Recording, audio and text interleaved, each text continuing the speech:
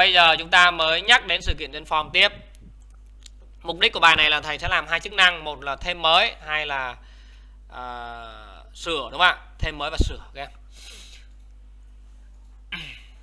rồi thì trước hết chúng ta lên cái form chúng ta thiết kế chút chút cho đẹp rồi vẫn vẫn rất xấu. À, nhìn xấu vẫn chưa được. Subject form. Cho cái hr vào đây cho nó đẹp này. Tách ra xíu trên này cho hr nữa chỗ nào mà gần quá cho hr hr cái đừng kẻ các em nhé. Tách ra thôi. Bây giờ bắt sự kiện submit này các bạn các bạn này.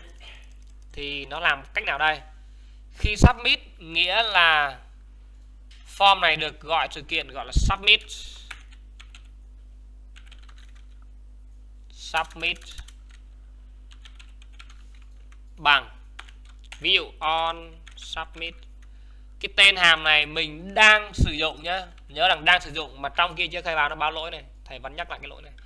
Vậy khi gặp cái cái cái lỗi này thì mình biết là à cái thuộc tính này nó chưa có ở trong cái component này. Ta bắt sự kiện, on submit đây. Đó. ok nó hết lỗi đúng không ạ? Bây giờ thầy thử alert xem nó nó submit nhá. Form submit đó các bạn thấy nó bắt submit rồi đúng không? Đấy bắt sự kiện submit rồi đó. Bây giờ làm thế nào là lấy cái dữ, liệu trên form đây? Đây là vấn đề của chúng ta. Vậy để lấy dữ liệu trên form chúng ta cần phải cấu hình như sau. Như như thầy vẫn nói hướng dẫn các em. Thứ nhất á, là chúng ta sẽ phải vào cái app module này. App module chúng ta khai, khai báo cho thầy cái reactive form. Cái form module này chưa cần không cần nữa nó qua reactive form luôn thôi. Nhớ nhá đưa cái này vào. Reactive form module. Các em chỉ cần gõ reactive thôi là nó gợi ý rồi. Chưa? Là bước 1 chúng ta làm như thế. Bước 2 tại cái cái này mà mình đang muốn xử lý form này tại cái chỗ đang xử lý form này thì chúng ta làm như sau. Các bạn à, khởi tạo cho thầy một cái uh, form group à, trước hết là các em làm cái này trước đi. Đó là các em uh, ờ, thầy enter xuống dòng cho nó dễ nhìn nhé đây, thầy private mấy lần đây.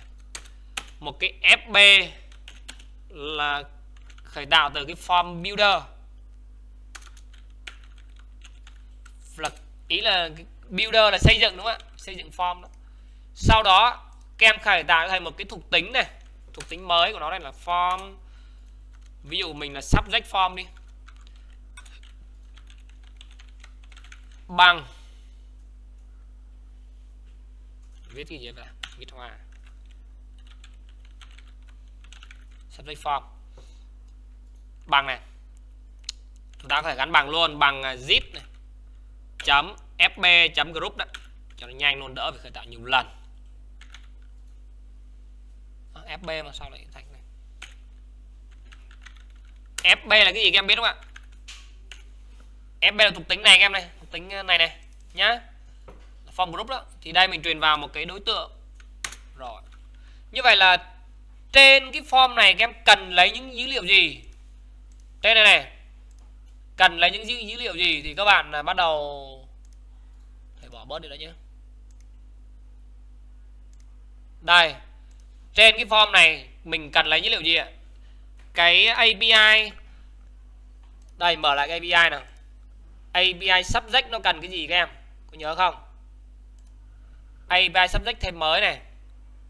Get one add new đâu grid đây. Nó cần cái name và gì ạ? Một cái name thôi, đúng không? Cần một cái name thôi, nhá. Cần một cái name thôi. Các em nhìn trong cái API mình biết này. Vậy thì mình có mỗi cái name thôi. Vậy thì đây, mình sẽ có một cái gọi là form control name.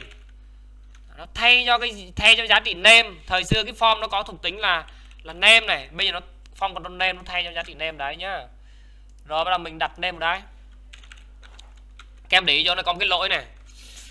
À, đây cái lỗi nhá. Nó báo là à bạn phải dùng một cái thuộc tính là một bạn phải thêm một cái gọi là form group ở cái thẻ form này, nó gợi, gợi ý này nó gợi ý này. Được chưa? Các bạn có thể thử copy cái này này. Thử copy nó để đâu đó đây này đi. Ví dụ đây chẳng hạn. Không? Chịu không? Thử nhá. À nó bảo là form group. Nó không có. Vậy thì mình đang đang dùng cái gì ạ? Của mình là gì đấy subject form. Rồi các em nhớ subject form thì đưa vào đây nhá. Đó. Rồi. Ok. Tạm thời nó hết lỗi đúng không ạ? Thì bây giờ nó bảo là à cái name cái thuộc tính name này này nó chưa có đúng không ạ? Cái control name này, này. Không thể tìm thấy cái tên là control name này tại vì trong đây mình chỉ mới để rỗng đã khai nhiêu đâu thì mình bắt đầu khởi báo này. Name hai chấm tạm thời để rỗng nhá. Đó như thế này. Là hết lỗi được chưa? Như vậy là cái quy trình chúng ta thiết kế form là nó nó là như thế. Sau đó nếu như tại cái form tại cái chỗ submit mà các bạn muốn à, lấy cái dữ liệu của form thì là làm như sau. Thầy thử console chấm log zip đến cái uh, subject form chấm value là nó lấy được tất cả những cái trường mà trên value nó có đúng không ạ? Ví dụ thầy submit em thấy nó lấy cái này. Đó. Lấy cái rồi đúng không? Đấy là vấn đề thứ nhất về form. Thì bây giờ á chúng ta có thể đưa cái này vào dữ liệu được không? Đưa được đúng không ạ? Đưa như sau. Bây giờ các em nhìn nhá. Chúng ta lại mở cái thằng uh, subject service cái thằng add rồi chưa có đúng không? Add chưa có này. Bây giờ phải thêm nhá. Phải thêm. Muốn thêm được phải làm thế nào để thêm cái cái này các em nhỉ? Như vậy là mình nếu như học lại cái bài à, kia thì mình phải mở cái ARC lên để bắt đầu mình test xem là cái dữ liệu nó cần đầu vào là gì đúng không? Có hiểu không à Đấy, ví dụ thầy thử nhá thầy test cái đoạn này cho các em xem này. Các em phải chưa quen phải test nhiều nhiều vào. Ví dụ thầy test cái chỗ cổng mình cầm à, subject này. Thử đang để ghét ra gì nhá. À, đây nó đang là list danh sách đúng không à, lâu hot 3.000 đúng rồi mà nhỉ. Sao không ra gì?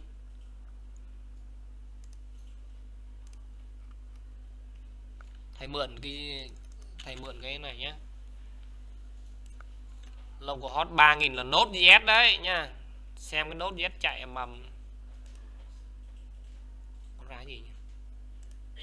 rồi nốt JS 3000 ở đây nè. Subject đấy. Sao lại, sao lại không ra gì? Đóng sự vô lý không hề nhẹ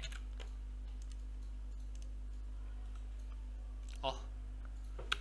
chờ thầy đi nhá. 200 rồi không ra gì nôn mới sợ chứ. rồi, bây mình xóa hết cái này đi cho nhanh nào. Các bạn vào history history xong rồi là đâu nhỉ? History save it đây, vào đây delete all đi, rồi. Rồi, cho nó gọn đi quay lại, mình test lại này. Xóa hết đi.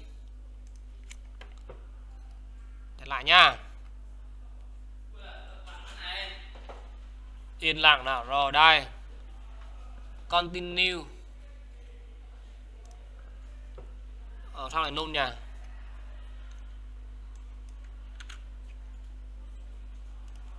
Đây chạy mầm đây mà À Tại vì xóa mất hết rồi mà dữ liệu xóa hết rồi mà.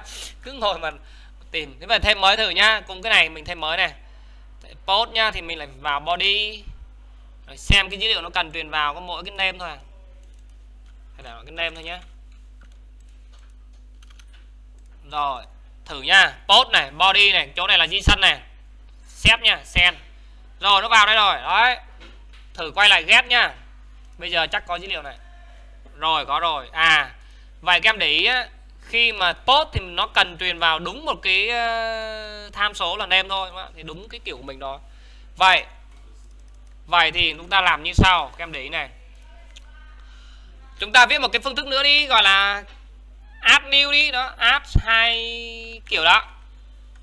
Cái dữ liệu nó truyền ở bên kia sang á. Giống văn any nhá Thầy vẫn dùng any này Function này. Rồi, thầy cũng return này. Như trên kia thôi, Zip, Vẫn là chấm đến HTTP Chấm gì ạ? Phương thức post là gì? Chấm post, đúng không ạ? Và nó tạm thời truyền vào Andy đây đấy. Rồi, đưa cái đường link vào đây. Vẫn là link này nhá.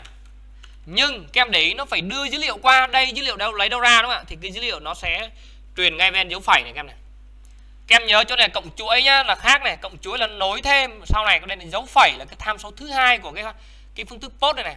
Tham số thứ nhất của nó là một cái đường link, tham số thứ hai là một cái dữ liệu. Vậy dữ liệu lấy đâu ra?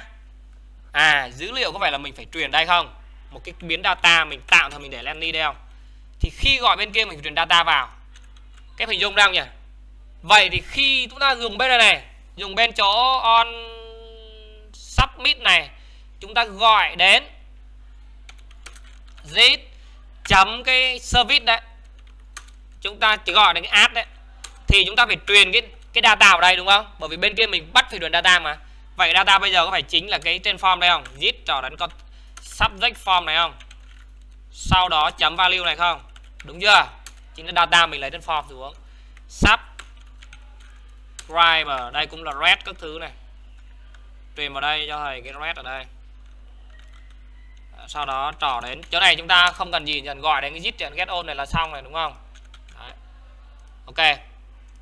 Rồi, xem ở đây cái dấu này, dấu trỏ đến nhá. Dấu lớn hơn. Thử này, bây giờ test luôn này. Sang L, test ví dụ subject là hcg add kem thấy nó xuống đây luôn, thấy chưa? Vào luôn này. Đấy. SQL đó bây giờ như vậy là xóa cũng được luôn đúng không? Xóa được luôn mà cái này cũng được luôn.